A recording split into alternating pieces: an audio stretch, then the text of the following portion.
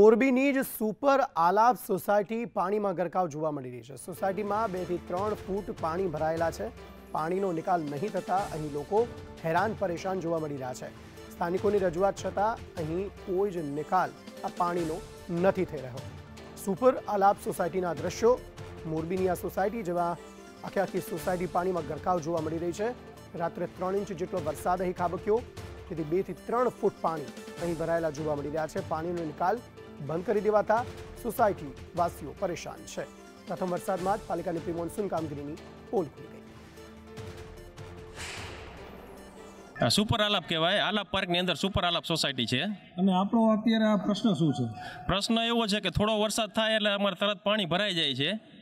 ને છોકરાઓને સ્કૂલે જવું તો છો- છોકરાઓ સ્કૂલે નથી જઈ શકતા. એટલું પાણી સાથળ સાથળ સમાણું પાણી ભરાઈ જાય છે. નથી મોટરસાયકલ નીકળી શકતા કે નથી ગાડી નીકળી શકતી.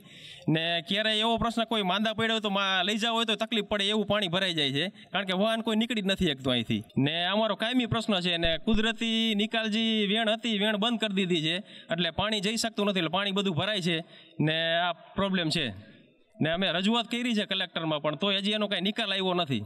ગઈ મોડી રાત્રે મોરબીમાં ત્રણ ઇંચ જેટલો વરસાદ ખાબક્યો છે અને માત્ર ત્રણ ઇંચ વરસાદની અંદર નગરપાલિકાની પ્રી મોન્સૂન કામગીરીની જે દાવાઓની જે પોલ છે એ ખુલી ગઈ છે. આ જે દ્રશ્યો છે, મોરબીની સુપર આલાપ સોસાયટીના દ્રશ્યો છે કે જ્યાં અત્યારે હાલમાં પણ ઢીચણસમાં પાણી ભર્યા છે અને આ પાણી બે ફૂટ જેટલા પાણી તો અહીંથી ઓસરી ચૂક્યા છે અને ત્યારબાદની આ સ્થિતિ છે, અહીં લગભગ પાંચસોથી વધુ લોકો રહે છે અને દર વર્ષે તેઓ આ સ્થિતિનો સામનો કરી રહ્યા છે.